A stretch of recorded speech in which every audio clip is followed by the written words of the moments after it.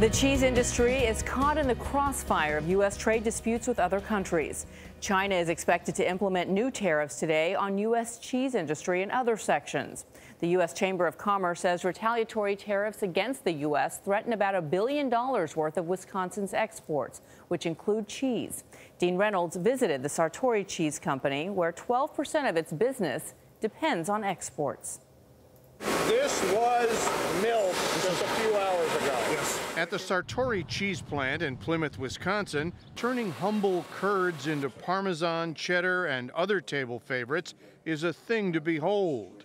But these days, in addition to dipping their 20 pound wheels into wine or hand rubbing them with pepper, an unwanted ingredient is being added to their business tariffs. The president is focused on helping protect American workers and American industries and create a fair playing field. That's fine, says Jeff Schwager, the president of Sartori Company, but tariffs are the wrong way to reach that goal. I have yet to find an example where tariffs have worked uh, for the long-term good of the country that first imposes them. The president's protectionist moves have prompted U.S. trading partners to retaliate with tariffs of their own on such Wisconsin exports as cranberries, apples, and Harley Davidson motorcycles. American cheese is more expensive to buy now in Mexico and Canada, Sartori's two biggest foreign markets.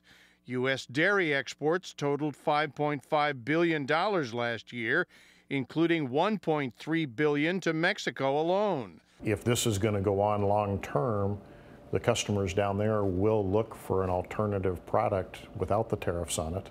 Overproduction has already created a glut of milk on the market, driving down dairy prices and threatening some of the 130 family farms on which Sartori relies. Stacy Limburg has 75 cows.